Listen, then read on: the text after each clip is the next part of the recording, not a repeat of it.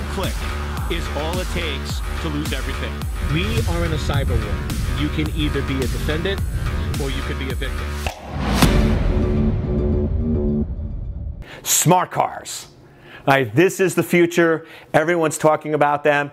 Tesla actually has models today that can actually do assisted driving or self driving. They're starting to test that out in the US and other areas to see how effective that is. And I tell you, it really hit me last night. I don't watch a lot of TV, but sometimes if I had a busy day, I'm just a little wound up and I need a little break before reading, I'll just sort of flip through the channels. And, and I like certain movies, right? right? Typically, the movies I like involve cars that go very, very fast. So, right, uh, Gone in 60 Seconds, one of my favorite favorite films. The Fast and the Furious, I think there's like 37 of those now. I like those too. But the one I was watching last night was The Fate of the Furious.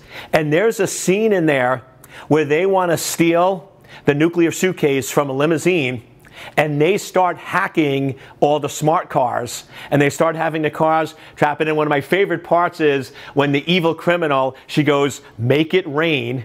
And they start hacking all the cars in the parking garage and they start having them fall off the building and basically trap in the limousine.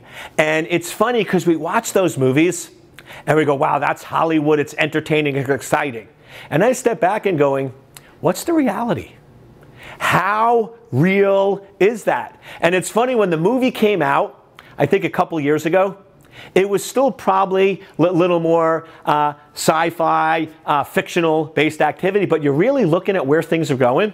And in two or three years, that could be a reality where somebody could potentially be able to start breaking in to these smart cars, taking control, managing them, doing other things with them. So I sit there and say, are smart cars really that smart? So after I watched that, I'm, my mind's always going. So I started researching and started looking into this. And here's what's interesting if we have self driving cars, cars that basically can drive, communicate, and manage without our intervention, small, minor accidents will go away and could potentially be a thing of the past because they're going to go in and they're going to signal to each other. So if the car in front of you stops, your car will know to stop. If you get a certain distance, it will also stop. So a lot of these minor fender benders where people are in traffic and they're working on their cell phones and they roll into the car in front of them or they don't stop all the way and they hit somebody, those types of accidents could almost completely go away with smart cars. Here's the problem. Major, major accidents what if you're going 65 miles an hour on a highway and a car next to you cuts you off, sideswipes. And now all of a sudden your car crash. Now all the other cars behind you will not necessarily be able to stop in time and they will all crash. So to me, self-driving cars will eliminate small minor accidents but major big accidents that require human intelligence and analytics to avoid, those will potentially increase. So to me, the question is this. By going in and doing self-driving cars and allowing them on the highway without a person driving them, is that a good exchange where we can get rid of all minor fender benders, but the major fatal car accidents will increase by three or four times? That's what you ultimately have to think about, and that's what I worry about. Great.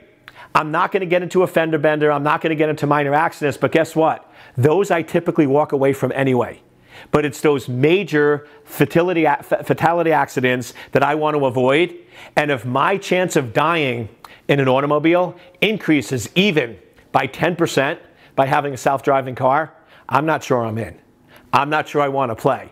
So I just sort of, after watching that movie, I just sort of wanted to shoot a quick video that we all love our technology, we all love the functionality, and we embrace it. But do we really step back and say, what are the real risks? What are the real exposures? And to me, this is something that's being minimized. You have all these vendors that want to make a ton of money, and that's cool. I'm, I'm all about entrepreneurship and they're pushing self-driving cars, self-driving cars, but to me they're not fully educating us on the real dangers and the real impact.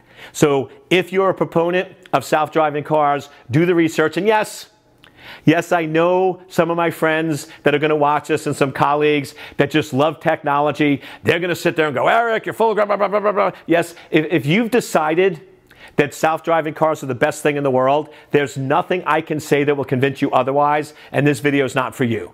But if you're somebody that's concerned about safety, concerned about your children's safety, and you want to just honest assessment, that's who this video was shot for. I just want to give you the plus and the minus and just get you thinking about are we really solving one problem and creating a bigger problem by moving to self driving cars?